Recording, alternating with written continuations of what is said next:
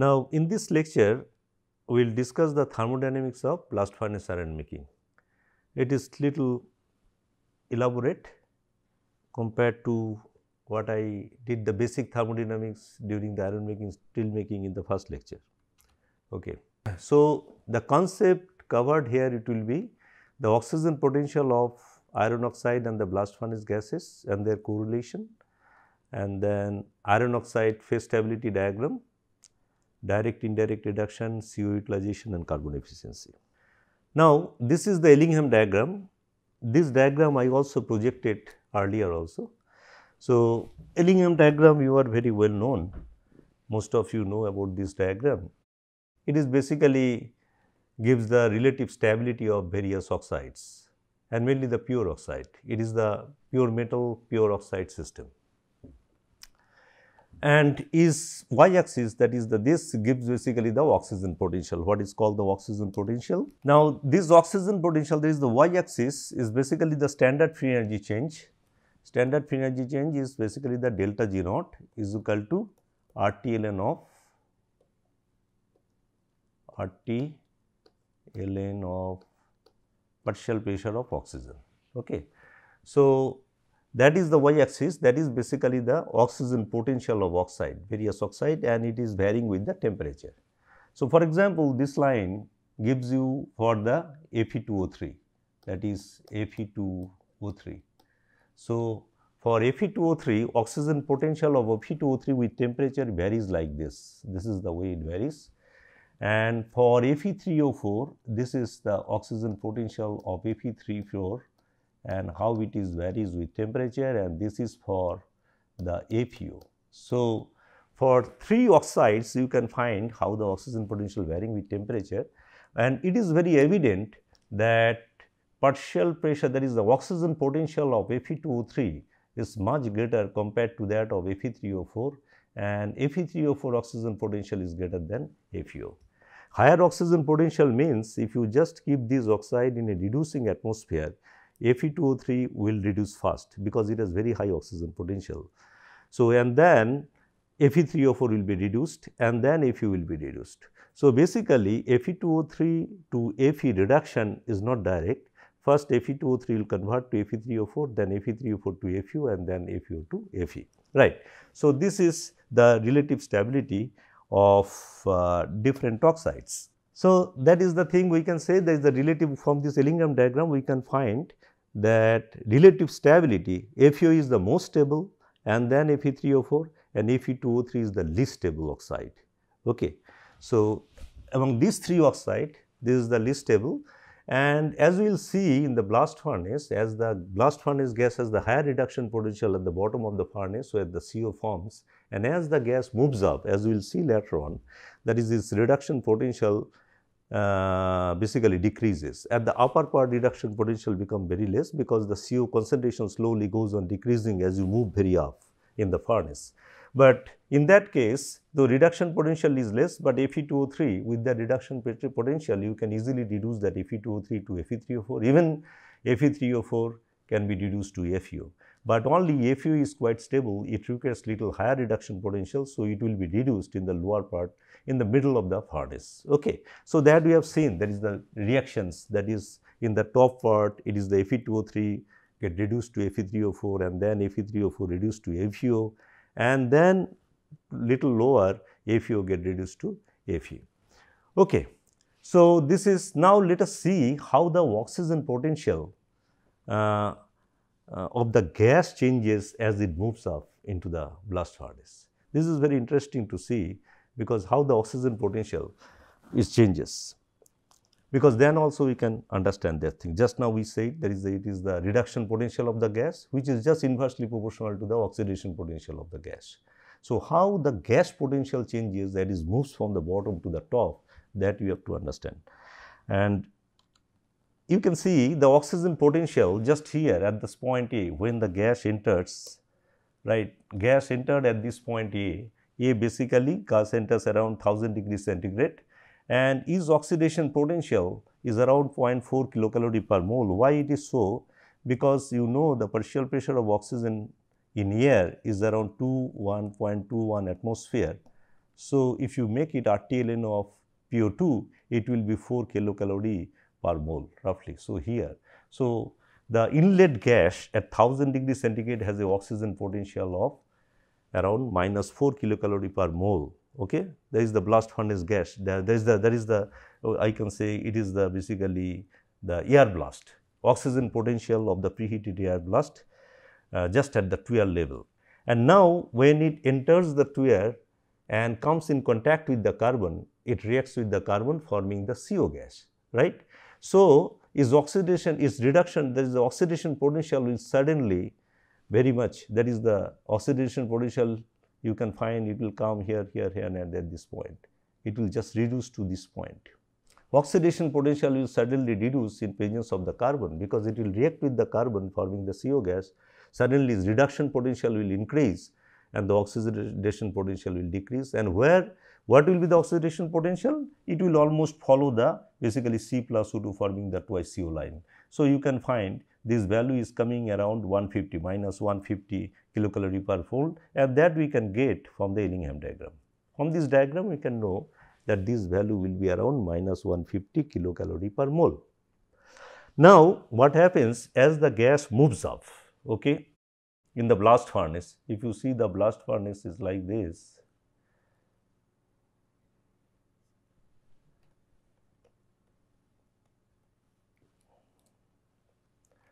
and you have this is the layers alternate layers of ore and coke ore and coke like this. So, this is say ore and this is say coke, this is ore, this is coke, this is ore, this is coke, ore, coke, ore, coke like this. And you have the gas that is the raceway and the CO gas is moving up like this, right. CO forms and it moves up. So, when the C that is the here when it come in contact with the carbon, its oxidation potential is there and as it moves to the ore layer here basically FeO is there at this location when it is if in the lower part of the furnace it is only the FeO will be I do not know if it is there. So, when it interact with the ore then its oxygen potential will increase suddenly. Why it is increased? Because the oxygen from the oxide that is the oxygen because it will reduce the oxide FeO to Fe and that oxygen will enter into the gas. So, when the gas will enter, there is oxygen will enter into the gas, its oxidation potential increases. So, oxidation potential will increase as the gas encounter the ore layer and then subsequently when again it encounters the carbon layer, again the CO will form and its reduction potential will increase or oxidation potential will decrease. So, this is the way the potential again will come down and when again it will encounter the ore layer, it will increase, right it will increase and then decrease, increase, decrease like this. So, as the gas moves up, as we can find, there is a reduction potential, uh, there is the oxidation potential as I said, it is very low here, that is the, your oxidation potential here suppose and then as the gas moves up, right, from here as the gas moves up, it moves like this and then, then, then finally it will go like this. So, this is this is the way your uh, oxidation potential will go, right. Initially it is low and then it will increase, it will fluctuate to some distance and beyond that is oxidation potential will increase only, there is no fluctuation. Why? And this actually this is the temperature, uh, this is below less than 900 degree centigrade. So, in the upper part when the temperature is less than 900 degree centigrade then its oxidation potential only increase because only the CO will reduce the iron oxide iron ore. So, it will take the oxygen from the ore. So, it, oxidation potential will increase and reduction potential similarly decrease. So, it is the here basically its oxidation potential is here low right oxidation potential is low and then it will fluctuate and then oxidation potential increases. As the gas moves up its oxidation potential increases or reduction potential decreases. So, that is why you have found that here where the oxidation potential is very low basically Fe2O3, Fe2O3 will convert to Fe3O4 and then your FeO Fe3O4 Fe3O4 will convert to Fe FeO, right. And in the lower position, your all the other reaction take place, FeO to Fe, FeO to Fe, will take place here, right. So, and uh, so that is why this is the thing and uh, and so here you can find as the gas ascends its oxygen potential is increased in presence of FeO and decreased like this. So, gas gets charged and discharged okay, up to 900 and beyond 900 this oxidation potential increases as I said. Okay. So, no charging of blast furnace gas below 900 degree centigrade. Charging means its reduction potential never further increase because below 900 degree centigrade there is no in situ CO generation. So, as I said that is below 900 you have no in situ CO generation and uh, uh, then only whatever the CO has been generated in the lower part of the furnace that will only act as an reducing agent in the upper part of the furnace, right like for reduction of Fe2O3 to Fe3O4 and all these things, Fe3O4 to FeO. So, that is why that is called the indirect reduction to some extent. And so, I will come to that direct reduction, indirect reduction, but you can understand now why it is happening that uh, why the sequence of reduction take place in different part. Now, we come to the FeCO phase stability diagram. This is a very important diagram in term uh, because I was discussing the process in terms of oxidation potential. I think it is better to describe the process in terms of the volume percent of CO into the blast furnace gas. Because initially at the tuyere level everything is CO as the gas moves up it take up the ore oxygen and forming some amount of the CO2, CO get converted to CO2, CO get oxidized to CO2 and iron get uh, iron ore get reduced to the iron right. So, so, as a result basically as the gas moves up it is basically a mixture of CO and CO2 and composition of the CO and CO2 in the gas changes. And that shows basically the what is the potential of the gas uh, reduction potential of the gas you can understand from there.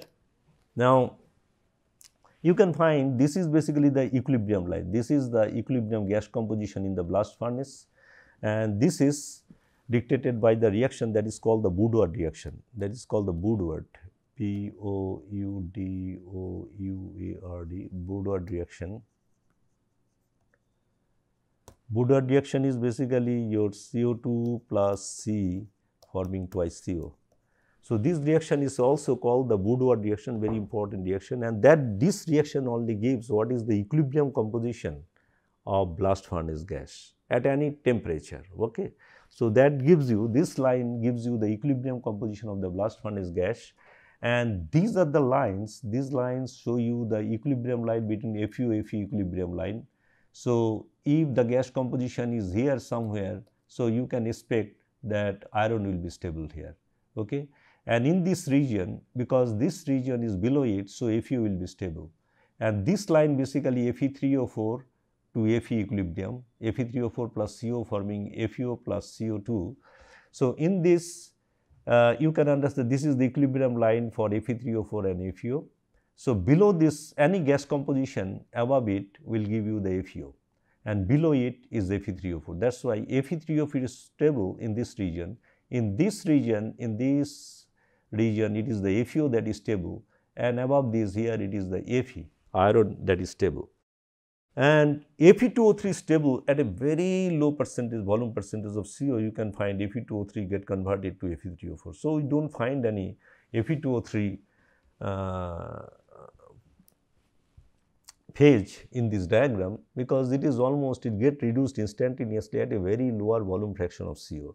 So, you cannot find it maybe below this line some amount of Fe2O3 is there, but most of the cases here it is Fe3O4, FeO, Fe and also at lower temperature here also you can get some direct some direct uh, reduction of Fe, you can get Fe here also. So, what you get that is the thing this, this is basically gives you basically here this FeCO phase diagram is nothing but volume percent of CO is plotted against temperature and different stable phases are shown in this diagram right. And now let us see that equilibrium percentage CO required to reduce Fe23 and Fe3O4, Fe2O3 to Fe3O4 almost 0 as I said. But at 900 degree centigrade, Fe3O4 to FeO reduction, Fe3O4 to FeO reduction, if I say at 900 degree centigrade, Fe3O4 to FeO reduction how much? It takes around 20 percent of you can find this is the 20 percent. This is around this is the 20 percent. So, 20 percent volume percent of CO is required if you want to reduce at least it will be in equilibrium that is Fe3O4 FeO. In this equilibrium 20 volume percent of CO will be in equilibrium. What does it mean? And for FeO to Fe equilibrium around 70 percent CO will be in equilibrium with the FeO Fe system. What does it mean? It means that if you want to convert FeO to Fe, then you have to have volume percent of CO in the CO CO2 mixture. Basically, when I say volume percent of CO, it is basically in the CO CO2 mixture, don't without considering the nitrogen and all this. So, if in the CO CO2 mixture, volume percent of CO is 70 percent, okay, then you won't be able to read that, then FeO and Fe will be in equilibrium. If you exceed that volume percent of CO beyond 70 percent, then only you can reduce FeO to Fe. So, it means you can utilize only 30 percent of the CO for reducing the iron oxide FeO to Fe. Similarly, for Fe3O4 to FeO, Fe3O4 to FeO, you can utilize here 80 percent, 20 percent will be in equilibrium. So, you can utilize 80 percent of the CO.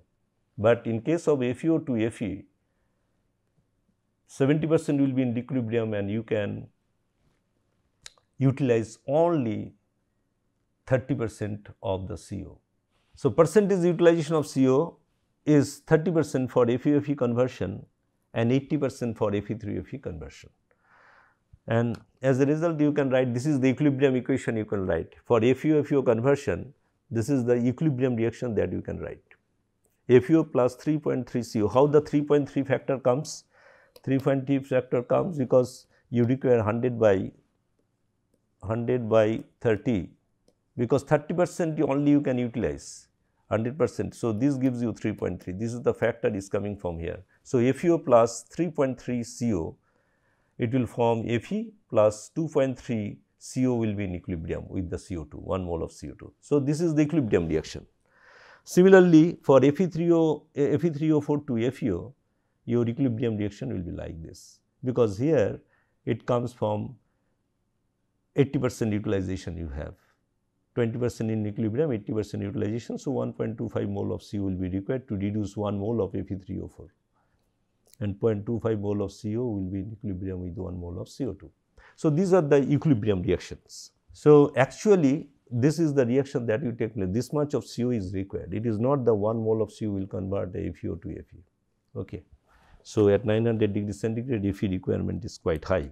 And another thing you can find that is the this is the actual blast furnace gas and this is the equilibrium blast furnace gas. So, always you can find that the blast furnace gas remain too much unutilized because of kinetic limitation. It is not that the blast furnace will be in equilibrium. So, equilibrium gas composition uh, you may not uh, expect into the blast furnace although this this line shows to be very non efficient not much efficient blast furnace in, in a very good blast furnace this line may come here also okay thank you